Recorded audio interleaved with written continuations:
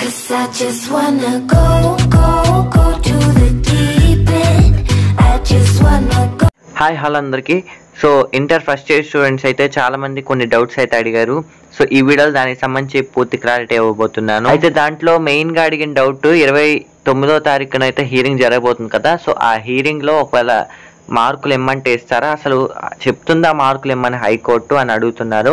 So దానికి సంబంధించి పూర్తి క్లారిటీ ఈ వీడియోలు తెలుసుకుందాం. సో వీడియోని తప్పకుండా లైక్ చేసి షేర్ చేసి మన ఛానల్ సబ్స్క్రైబ్ చేసుకొని పక్కన బెల్ ఐకాన్ క్లిక్ చేసుకోండి. మరి ఇంకే మాత్రం లేట్ చేయకుండా మనం వీడియోని అయితే స్టార్ట్ చేసేద్దాం. సో మనకి ఇంటర్ ఫస్ట్ ఇయర్ పైన జరిగిన విచారణ అయితే మనకి ఇరవై తొమ్మిదో తారీఖుకి పోస్ట్ పోన్ అయింది. సో పదిహేనో తారీఖు నుంచి యథావిధిగా ఎగ్జామ్స్ అనేవి జరుగుతాయని గవర్నమెంట్ అయితే చెప్పేసింది. హైకోర్టు కూడా మరి టైం అయిపోయింది. సో ఇప్పట్లో మనం ఏం చేయలేము అని గవర్నమెంట్ చెప్పేసిన తర్వాత హైకోర్టు కూడా ఇంకా ఏం మాట్లాడలేకపోయింది. సో ఇరవై తొమ్మిదో తారీఖు అయితే పిటిషన్ వాయిదా వేసింది.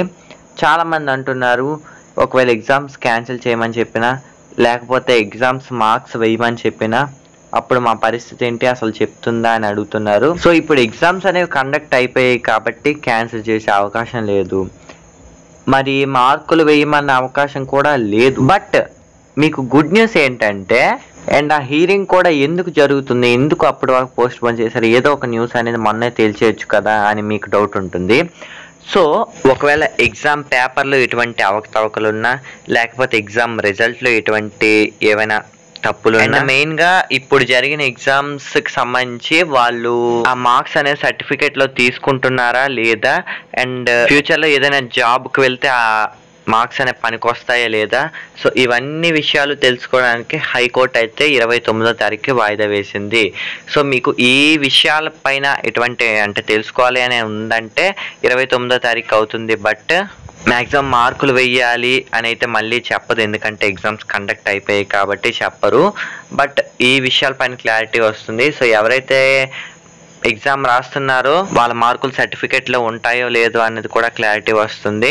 సో ఎవరైతే ఎగ్జామ్ రాయట్లేదో వాళ్ళకి కొద్దిగా క్లారిటీ వస్తుంది అంటే వాళ్ళు టెన్షన్ పడుతుంటారు కదా.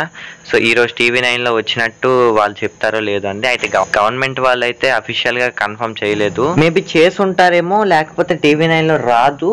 కానీ వాళ్ళు కానీ హైకోర్టు వాళ్ళు కానీ ఈ యొక్క అప్డేట్ని అయితే చెప్పలేదు. అయితే ఇది అండ్ ఇరవై తొమ్మిదో తారీఖున పిటిషన్ అయితే ఆ క్లారిటీ కోసం అయితే ఇస్తున్నారు.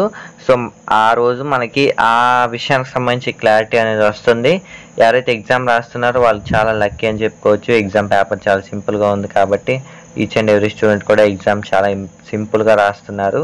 ఇకపై మార్కులు వేస్తే వేసారు సర్టిఫికెట్లో లేకపోతే పోతే పోయింది. మీరు ఎగ్జామ్ రాశారు మా మనస్ఫూర్తిగా మేము ఎగ్జామ్ రాసాము వేస్తే వేశారు లేకపోతే ఎప్పుడైనా ఫ్యూచర్లో ఇంటర్ ఫస్ట్ ఇయర్ మార్క్స్ అడుగుతారు అనే ఒక సాటిస్ఫాక్షన్ మీకు ఉంటే అదే చాలు. ఎగ్జామ్ రాయకపోతే అనవసరంగా రాయలేదు అనుకుంటాం కానీ రాస్తే అనవసరంగా రాసామని అయితే అనుకోం కాబట్టి ఇది గుడ్ న్యూస్ అనుకోవచ్చు. సో ఇది ఫ్రెండ్స్ ఆ హీరింగ్ పైన అయితే క్లారిటీ వీడియోస్ లైక్ చేయండి షేర్ చేయండి మన ఛానల్ సబ్స్క్రైబ్ చేసుకుని పక్కన బెల్ ఐకాన్ ఇచ్చి